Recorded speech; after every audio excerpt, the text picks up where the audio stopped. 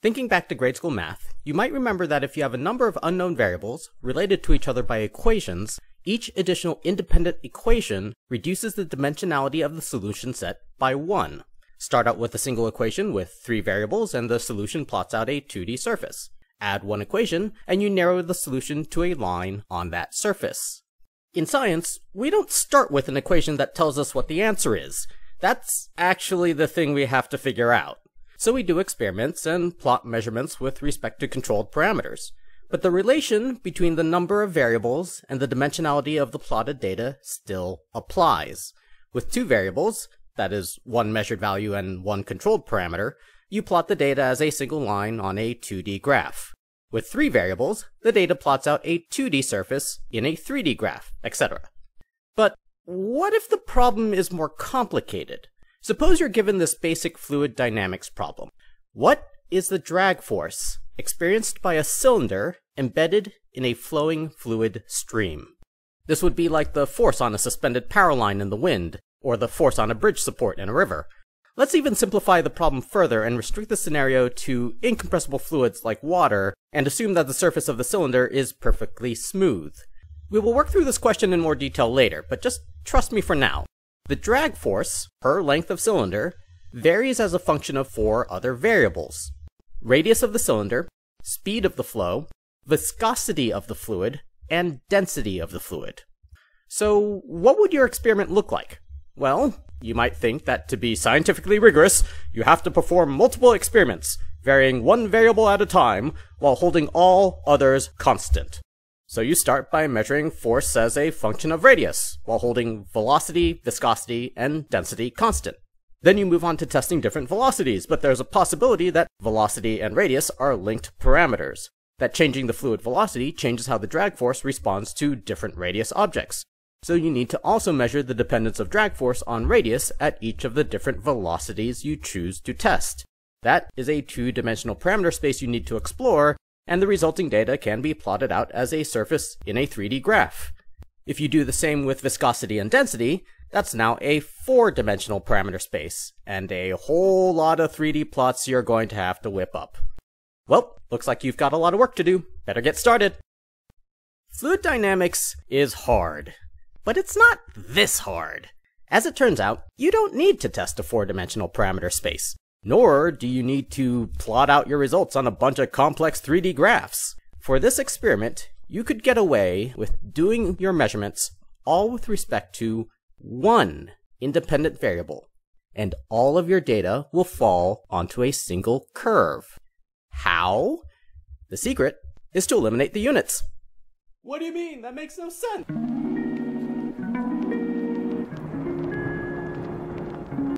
If you've watched other science education YouTube videos, you might be aware of the Reynolds number.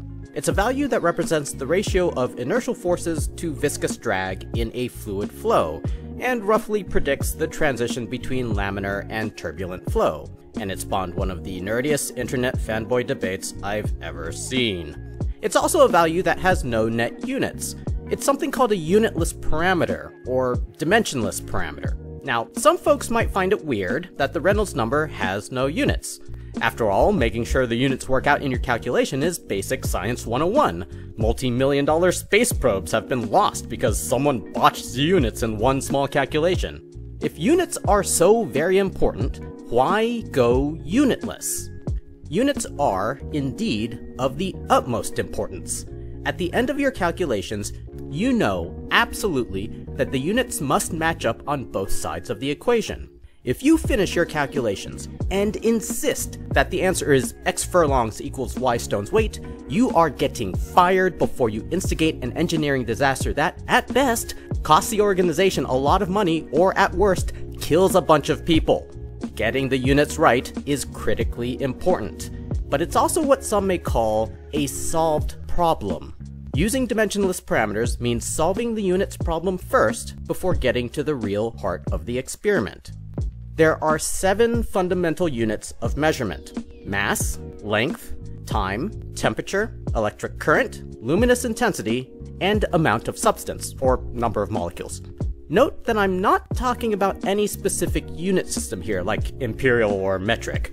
I'm talking about the basic quantities that can be measured. Each fundamental unit that is relevant to your problem gives you an extra independent equation that reduces the dimensionality of the solution by 1. For example, if your problem involves four variables, but all of those variables are measured in units that are some permutation of mass or length, then you can rearrange your variables into two groups, two dimensionless parameters, and restate your problem in terms of a relationship between those two parameters. Solving for the units is called dimensional analysis. One formalized method of dimensional analysis is the Buckingham Pi method, Edgar Buckingham formalized Rayleigh's method of dimensional analysis that was based off of a theorem proven by mathematician Joseph Bertrand. Buckingham pi may be best explained by working through a simple example step by step. Let's take the question of drag force on a cylinder that we put forth at the top of this video. Step 1. Identify the variables. Let's start by listing out the variables that might need to be taken into account, classifying them in some general categories. Geometric variables are the ones that consider the physical size, shape, and dimensions of the experiment. In our case, there's one relevant geometric variable, which is the radius of the cylinder. We're incorporating length into the dependent variable, force per length. An important note is that the variables you choose should be unique. For example, you might think that cross-sectional area of the object is important. And it may be, but it's not independent of the radius in this case. We can use one or the other, but it would be redundant to use both. Next, let's consider material property variables. For the fluid medium, that involves characteristics like viscosity and density. We're keeping the problem simple and not explicitly factoring in the effect of temperature on those properties for now. Just note that temperature may need to be controlled in a realistic experiment. We'll also consider the cylindrical object as incompressible, indestructible, and perfectly smooth. The liquid is also being approximated as incompressible. Finally, let's consider the kinetic variables. These are the velocity of the fluid and the drag force. Again, we're normalizing force with respect to length of the cylinder, so force per length. So we have five variables. Radius, velocity, density, viscosity, and force per length. Step 2. Identify the units of your variables and count the number of fundamental units involved. Again, we're not going to use any specific unit system, but generic units denoted by these bracket letters. L for length, T for time, M for mass. Radius is measured in units of length L. Velocity units of L divided by T, or L times T to the power negative 1. Force, M times L times T to the negative 2. Density, M times L to the power negative 3. Viscosity, M divided by L and T. So that's three fundamental units in our example. Mass, length, and time. To organize things, we're going to tabulate the exponents for each unit in each variable, like so. This table will be useful later on. We started with five variables, and now we have three additional independent relationships, one for each fundamental unit, that arise from the fact that the units must work out. This reduces the true number of variables to 5 minus 3 equals 2. The theorem says we should be able to group our five variables into two dimensionless parameters and express the data in terms of one parameter as a function of the other. We shall label those parameters pi1 and pi2. Step 3. Select the repeating variables and the primary variables. Each pi parameter will consist of one primary variable multiplied by the repeating variables in such a way that the units cancel out.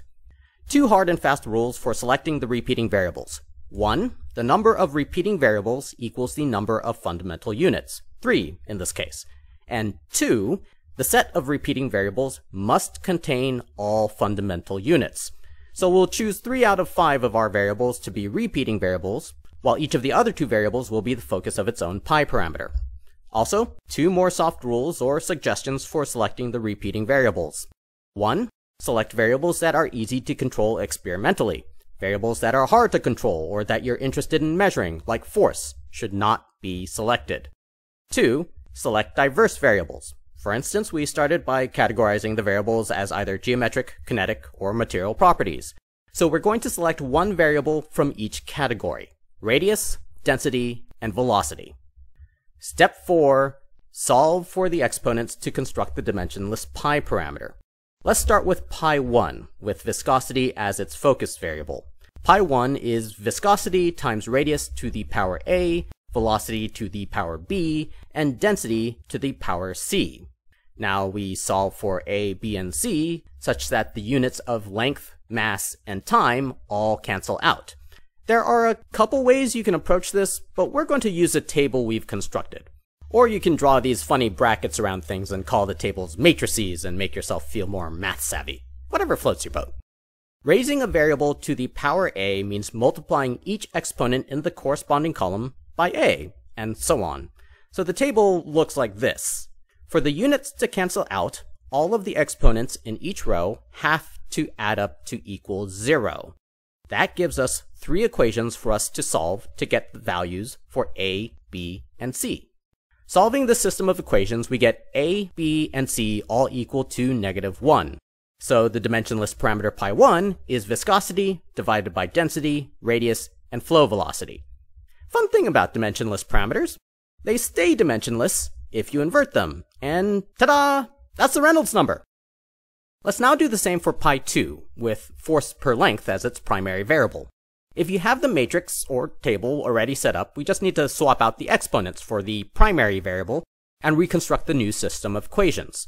Solving, we get a equals minus 1, b equals minus 2, and c equals minus 1. So pi 2 turns out to be force divided by density, velocity squared, radius, and length. Note that radius times length is half the cross-sectional area of the cylinder. After a bit of rewriting, this parameter is another well-known dimensionless parameter called the drag coefficient. At this point, some of you might have some technical questions about this process. If you stick around until the end of the video, I'll do a bit of Q&A to hopefully clarify some things. So now when you do your experiment and plot your data, you don't need some 5D graphical representation. You just need a single 2D plot of drag coefficient versus Reynolds number. And yes, indeed, all of the data points fall along a single curve. Keep in mind, I've been saying things like drag coefficient as a function of Reynolds number all this time, but it doesn't really matter what that function looks like exactly. And it can even change from one condition to another. At low Reynolds number, we get fully laminar flow, dominated by one functional form. With increasing Reynolds number, the function changes as we start to get vortex shedding, by the way, whenever you hear power lines or cables whistling in the wind, they're in this flow regime. The whistling sound is due to the frequency of vortex shedding. This jump indicates the onset of fully turbulent flow. But this data is for a perfectly smooth surface. If the object has a rough surface, the onset of turbulence is earlier. Note that when we add another variable to the problem, that is, surface roughness, the dimensionality of the solution increases by 1 and the data no longer fits on a single line. In addition to cutting down on the number of graphs you have to plot, another benefit of using dimensionless parameters is that it quickly gets you to the important scaling laws, so to speak. In a physical equation, the exponents are more important than the constants. They tell you trends, roughly how one parameter changes with respect to another. For example, at low Reynolds number in the laminar flow regime, drag coefficient scales close to inverse of Reynolds number, which, if you work it out, means that force scales directly with velocity. At higher Reynolds number, where you get wake turbulence, the drag coefficient is relatively constant, meaning the drag force now increases with the square of the flow velocity. The scaling law approach is especially useful if you work with large things like bridges and planes and need to do experiments on scaled down models before committing to building a real sized version. Vehicles like airplanes are often subjected to wind tunnel tests to examine their aerodynamics, but there are precious few wind tunnels large enough to accommodate real sized planes, and none of them can achieve exceptionally high wind speeds. But with a scaling relationship in hand, you can, say, build a one-tenth scale model of a fighter jet, stick it in a supersonic wind tunnel, and reasonably predict how the results would translate to a real-sized plane. It should be said, Buckingham Pi does not solve all of your problems for you. In practice, the hardest part of the method to get right is step one, being able to correctly intuit the list of relevant variables in your problem. The method also doesn't absolve you from actually having to run experiments. The method only reduces the number of parameters you have to focus on. It's up to you to do the actual experiment to determine what that relationship between those parameters looks like. Although in practice it can give you rational justification to avoid testing all of the variables, especially the ones that may be difficult to adjust, like density or viscosity of the fluid. I mean, that could be done by building your testing apparatus with full temperature controls, but that's sometimes more trouble. And and one final point. You still need to make sure the units work out when you're actually calculating each of the dimensionless parameters. Calculate the drag coefficient like this, and you're getting fired as quickly as Mr. Furlongs equals Stones guy. So this is why dimensionless parameters are awesome. And despite all of the attention the Reynolds number gets, there are way more dimensionless parameters out there, like the Mach number and the Froude number. And yeah. To reiterate, the point of all of this is not to say that units don't matter. Quite the opposite. Units are of the utmost importance, but they're also a solved problem. All we're doing is solving the units problem first in order to get a head start on the really fun part of science discovering something new.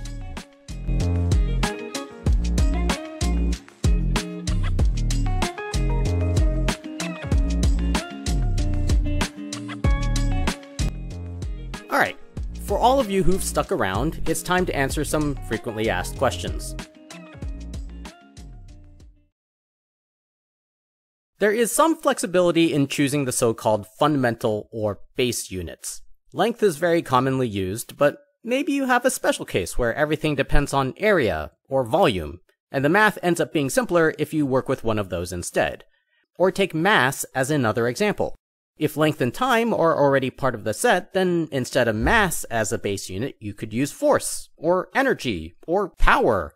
Or instead of electric current as a base unit, you could choose electric charge and time. You get the picture.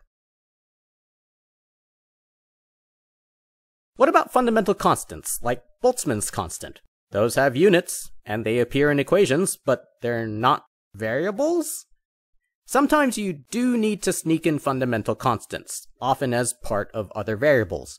For example, relative permittivity, or dielectric constant, of a material is a unitless number but the proper variable to include is the electric permittivity of the material, which is equal to the dielectric constant times the vacuum permittivity. You may have to choose as a variable not temperature, but a measure of thermal energy, Boltzmann's constant times temperature. The gravitational constant is not a variable, but gravitational acceleration g might vary from its average earthbound value of 9.8 meters per second squared to something else in space, or even on different parts of Earth's surface.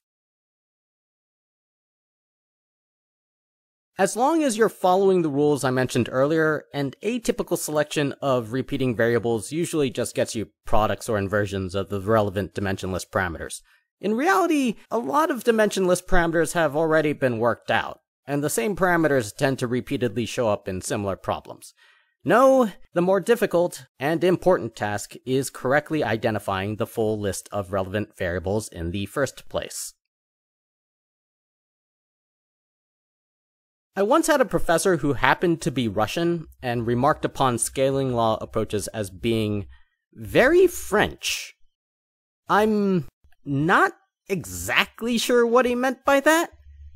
Being a polymer scientist himself, he may have just been referring to the work of Pierre Gilles or maybe it was some Russian obsession with mathematical rigor. I don't know. Whatever the case, regarding scaling law approaches, vive la France, I guess.